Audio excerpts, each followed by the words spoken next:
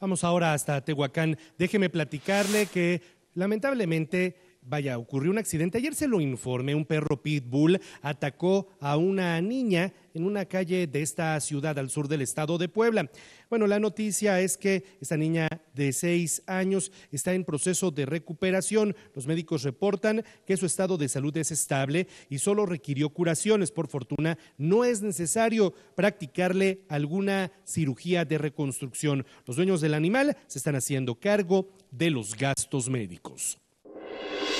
Fue un accidente porque en realidad el perro siempre está amarrado. Pero pues, ¿quién se iba a imaginar que iba a llegar alguien a tocar ahí? Mi hermana trató de defender a la niña, pues se puso encima de la niña, pero el perro alcanzó a agarrar de sus pies y un poco de la piernita. Mi hermana ahora se está haciendo cargo de todo, desde el principio hasta el final. Y afortunadamente su estado de salud es estable, eh, se hicieron sus curaciones quirúrgicas y yo creo que entre hoy y mañana la dan de alta, sin mayor complicación. ¿Qué lesiones?